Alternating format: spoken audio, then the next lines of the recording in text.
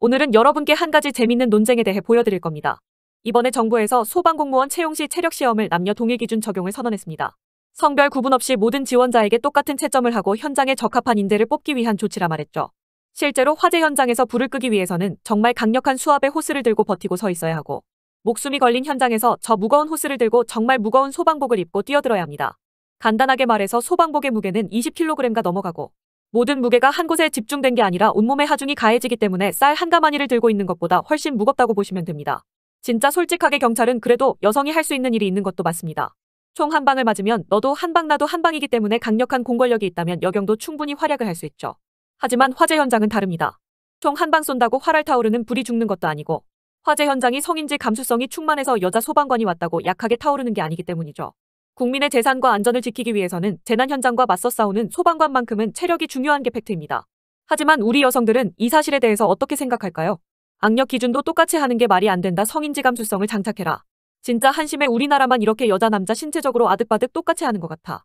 이야 여자보다 힘세서 좋겠다. 라는 반응을 보이고 있습니다. 이제부터 저는 그녀들의 논리를 하나하나 팩트로 박살내볼 건데요. 팩트에 대한 반박 환영하니 우리 언냐들의 많은 댓글 기다리겠습니다. 악력 기준도 똑같이 한다고 경악하는 우리 FM 언냐에게 한마디 하자면 혹시 여성용 뿌띠 소방호스가 이 세상에 있다고 생각하시나요? 여자들의 약한 체력을 위해 만들었습니다. 기존의 소방호스와 수압은 동일하지만 무게는 바니바니바니랍니다. 라는 혁신적인 여성용 신기술이 나와서 여자 소방관들은 그거 들고 불 끌어가나요? 당연히 남녀 똑같은 무게의 소방호스를 들고 다니는데 악력 기준도 동일해야 하는 게 아닐까요? 다음으로 우리 여성들은 남녀 소방관 필기 기준이 다르고 남자들이 여자보다 낮은 지능으로 합격한다 말하고 있죠. 남자들은 더 공부를 못해도 붙여준다. 필기컷 통일시켜라 실무에서 체력은 동등하게 요구되는데 왜 지식은 동등하게 요구 안 함? 이라는 식으로 여자들은 공부를 더 잘해야지만 소방관이 된다고 주장하는데 2023년 소방청에서 발표한 소방공무원 필기시험 공고문을 보여드리겠습니다. 공채로 뽑는 소방공무원 남성의 합격선은 260점이고 여성 역시 260점으로 동일한 결과를 보여줍니다. 정확하게 보여드리자면 남성들의 필기 합격선 평균은 258점입니다.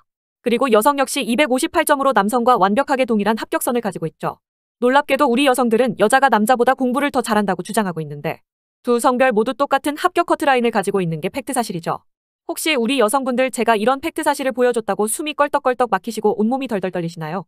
우리 여성들의 주장대로 남녀 공평하게 다 합쳐서 뽑으면 여자들이 체력 검정에서 압도적으로 낮은 점수를 받기 때문에 무조건 남자들이 훨씬 더더더더더더더 많이 뽑힐 수밖에 없습니다. 여성 할당제 때문에 남녀를 나눠서 채용하고 있는데 우리 여성들은 무슨 소리를 하고 있는 걸까요?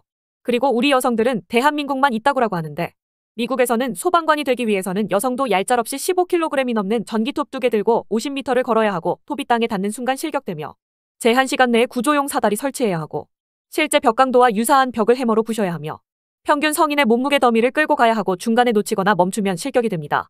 2016년도 기준 뉴욕시의 소방관만 500명 중 52명만이 여성 소방관이죠. 대한민국은 그 어떤 나라보다 여자가 살기 편한 세상입니다. 성인지 감수성 충만한 화재 현장을 보유하여 여자로 태어나면 불도 살살 끌 수 있는 나라가 이 나라이죠. 오늘은 팩트로 여성들의 논리를 박살내봤습니다. 화재 현장은 감성 충만한 공감 능력으로 해결할 수 있는 문제가 아닙니다. 화끈한 물의 수압과 강인한 체력으로 해결하는 게 화재 현장이죠. 자격 없는 여성 소방관이 늘어나면 피해를 받는 건 아무런 죄 없는 어린아이 노인 같은 취약계층이라는 점 명심해주세요. 영상 여기서 마치도록 하겠습니다. 여러분의 구독과 좋아요는 은희가 영상 만들 때 마시는 커피값에 커다란 도움이 됩니다. 오늘의 한 줄 요약. 성별 따로 뽑지 않고 성별 블라인드에서 뽑으면 체력 검정에서 우수수 떨어져서 남자밖에 남지 않는 게 진실입니다.